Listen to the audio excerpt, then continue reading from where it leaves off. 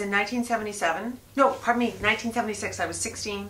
Uh, my my first professional theater gig, um, and I I got my Actors Equity card right then, and I started. Um, I auditioned a few more times, and I was very young, and I realized I had no training, and um, and I needed some kind of training because I didn't know what I was doing, and so quite often when I was performing, I was just watching myself and commenting on how terrible I thought it probably was. Has anybody else ever experienced that? It's an awful feeling. It's a, you feel extremely um, unsafe. So I went to the Lee Strasberg Theater Institute in Los Angeles, California, from Regina, Saskatchewan, by the way. And um, it, it's a whole other interview how I got there, so we'll we'll park that for right now. Um, and what I got from working there was an understanding of authenticity.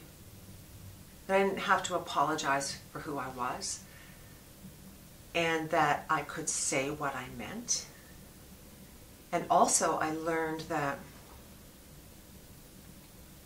there's very little room for politeness in acting. There's no room for politeness in acting. Respond in the moment and do not apologize for how you feel. And, and that's not to say that um, your, your, your work should be dictated and run amuck by your emotions. But I, I learned to value my instincts and to work with my impulse.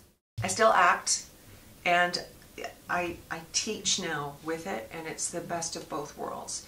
You know, as, I, as I'm getting older, um, I don't know how much longer I'll act. I'd like to think I will keep acting until I drop dead at a very old age, by the way, very very old age. um, but if I but if I didn't, um, and I could pass my experience on to people, um, I find it equally rewarding.